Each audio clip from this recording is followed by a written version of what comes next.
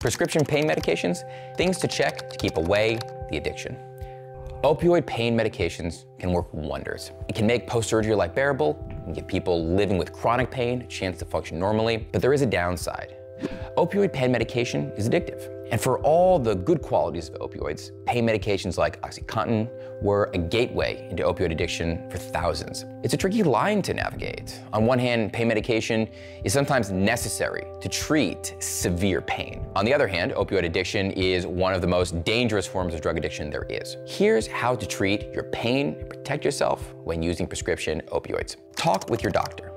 First, only get prescribed pain medications by prescription from pharmacy. Buying pain pills on the street is incredibly risky. There are no guarantees with street drugs that pain pills might just be fentanyl, tranq, or something else that could potentially kill you. Secondly, talk with your doctor and work out a pain management plan.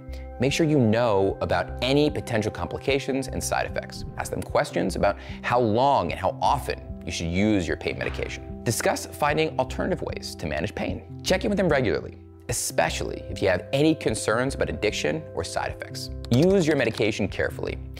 There's also things you can do to protect yourself from addiction. One of the best things you can do is never take your prescription in higher amounts or for longer than instructed. Make sure your drugs are stored carefully too. Make sure they're out of reach of others, including children and other family members and friends. Don't share your prescriptions either. Also, opioid medications really don't mix well with many other substances. Never take opioids with alcohol. The combination can slow down your breathing down to the point where you can suffocate. And the same goes for taking opioids with Xanax, Valium, and other benzos. It's also extremely risky to take opioids with other prescription medications or drugs. Can you abuse prescription drugs?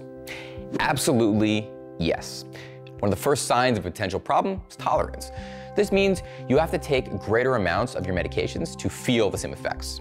Drug abuse isn't about this substance or that substance, it's about behaviors. Taking more of a medication than prescribed, using a prescription for longer than prescribed, sharing prescriptions, using someone else's prescription, trying to obtain prescriptions illegally are all forms of drug abuse. Another big red flag are withdrawal symptoms. If you find yourself feeling flu-like symptoms, if you haven't taken your medication, call your doctor. These are classic examples of addictive behaviors. I'm Jeremy Arts, and as a therapist, I know how rapidly pain medication cause addiction. I'm also inspired by seeing people turn their lives around when they get help. Reach out to the Edge Treatment Center today at 844-590-0403 and we'll get started. If you struggled with or currently struggle with pain, how'd you handle it?